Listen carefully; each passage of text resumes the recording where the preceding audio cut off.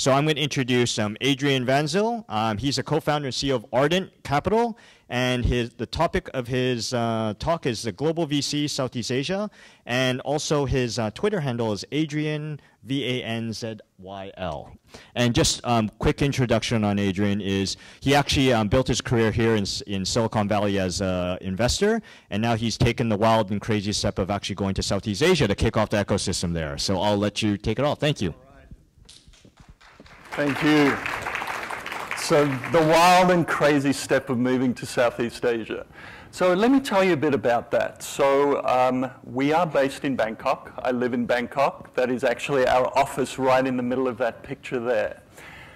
What I was going to do today, before about an hour ago, is go through about 30 really wonderfully data-dense slides about why Southeast Asia is the right place to go.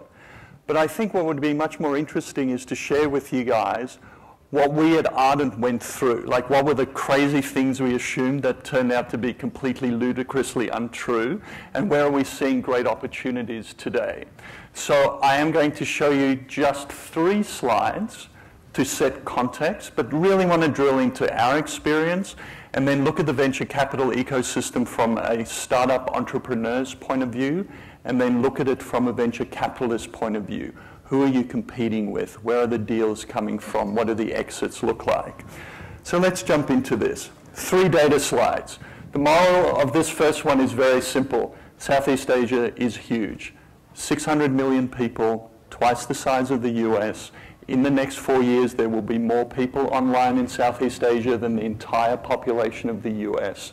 Every metric you could possibly track about the internet is growing at 30% compound growth everything is happening super fast. And why is that? Well, we are in the midst of half a dozen or so major trends that are all happening at exactly the same time and are all cumulative in their effect. They are rising GDP and disposable income. They are growing mobile broadband penetration.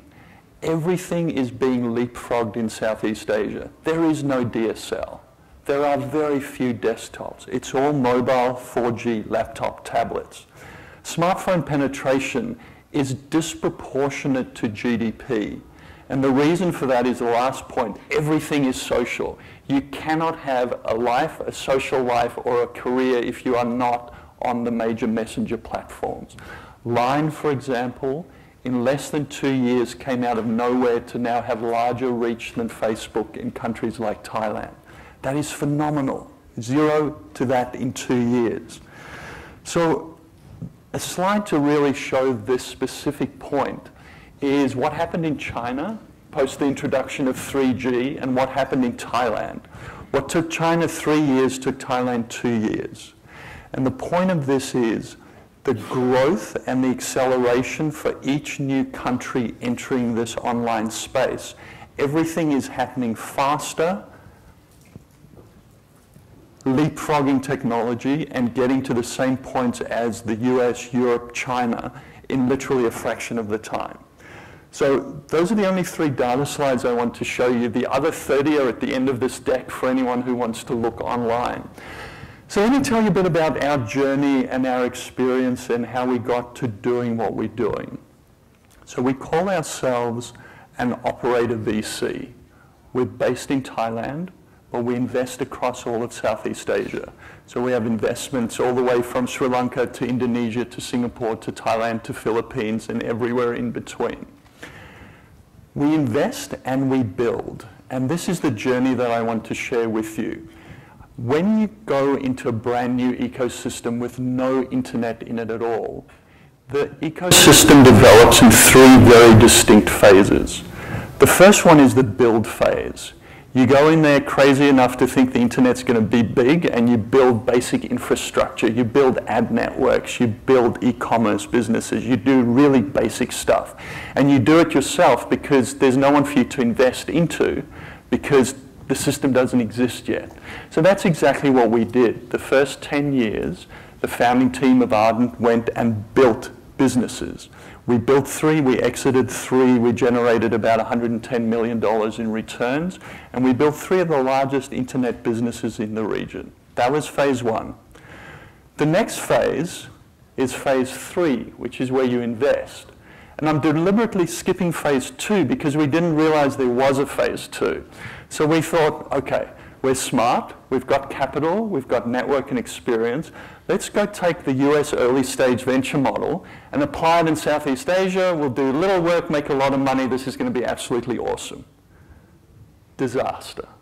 So three years ago, we started with what we now know as phase three and looked at dozens and dozens of companies. And with the notable exception of some really awesome ones, most of what we saw was complete crap. It was founders with no experience, no ambition beyond their own cities, really, really very difficult to find good investments three years ago.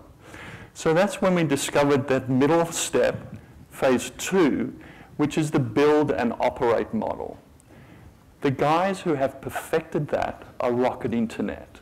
And for those of you who don't know who Rocket is, bunch of crazy Germans attacking every emerging market in the world. They have built two big businesses in Southeast Asia and invested over half a billion US dollars just in Southeast Asia, just in those businesses. That is the build and operate model, and that's where we've ended up as well. We do both build and operate and invest because of the market maturity. So what does that look like? So I want to give you an example of a business that we have built and funded as an example of this. But before I do that, I want to explain the why I have the word elephant up there. So this morning, everyone's talking about unicorns, right? Beautiful, amazing, mythical creatures that make a billion dollars for the investors. We don't have a lot of unicorns in Southeast Asia. We have a lot of elephants. And what I mean by that is these are basic businesses, Web 1.0 businesses, solving hard problems that are unlikely to be billion dollar businesses in the short term, but are very solid $100 million businesses. So the opportunity in Southeast Asia today is to go build 10 $100 million elephant-style basic building block businesses and leave the unicorns to the Americans out here where it's unlikely you need a very mature ecosystem, you need a lot of capital. We're going to build a whole bunch of elephants. So I think the, the moral here is those basic businesses should not be discounted, and just because they're not particularly glamorous or sexy, they still make a lot of money. So the point with this slide is we've built a business called aCommerce, which is a basic Web 1.0 infrastructure business. If you want to do e-commerce in Southeast Asia and sell direct to the 600 million people in Southeast Asia, you very quickly discover you need a warehouse. You need people who can pick and pack. You need a fleet of motorbikes. You need a large call center. You need payment gateways. You need cash on delivery. Sexy? No. Glamorous? No. Critical, essential, massive, important? Absolutely. So we built this business in one year from zero to 250 employees in four countries with 40 global brands as customers. That's a great business. It's not a unicorn, but damn, it's a good business. So it's a good example of what's possible. So that's our context of what we're doing and how we got there. I want to look a bit at the venture capital world from an entrepreneur's perspective in Southeast Asia. So I'm going to start by looking at it from a non-Singaporean perspective. So if you're a great entrepreneur in Malaysia, or Indonesia or Thailand, how hard is it to raise capital? The answer is it's really, really, really hard. Everyone you talk to from an angel perspective wants to see your factory. They want to touch the stuff you have. This stuff that sits in the cloud and that is virtual is very difficult for a traditional investor to understand. So angel money is out there, but very difficult to get because you're not just educating your investors about what you're doing, you're actually educating them about a whole class of investment opportunity that they've never seen. So as a young entrepreneur, you start in your own local market. You'll eventually raise some money from uh, the traditional friends, family, and fools universe, and you'll get your business up and running. but you'll grow it really slowly because you're really growing out of cash flow. So you're very conservative. You add one employee at a time. You know that if you can't meet payroll, no one's going to come in and rescue you or your company. So very conservative, very slow growth. So what do you do next? Well, if you're entrepreneurial and well connected, you get on a plane and you go to Singapore. Singapore is where all the money sits in Southeast Asia, but it is money with enormous strings attached. And I'm going to drill into this in a moment because Singapore is incredibly important in Southeast Asia. It has less than 1% of the population of Southeast Asia, but it's where all the money sits. So I'll come back to that one in just a moment. Then the next thing you do as a young entrepreneur is you go to Japan. For us, this is where most of the money for what we've been doing has come from. Japan is a wonderful place to raise capital because it has a lot of capital. It is a country where people are aware of Southeast Asia, so you don't have to go through the educational process. And it's a country where the larger investors are keen to grow into Southeast Asia. So it's a great place to raise capital, but quite complex. And for anyone who has raised money out of Japan, the due diligence process is, uh, is onerous, let me put it that way. So what's the solution? We need more venture money in Southeast Asia. So to just use Ardent as an example again, our money has come from primarily the US, some from, sorry, primarily from Japan, some from the US. But look at our major, major country for co-investment is Japan. We have in the last 18 months co-invested with NTT Docomo, with Sumitomo, with Recruit, with GMO, with big Japanese conglomerates that are all coming into the region.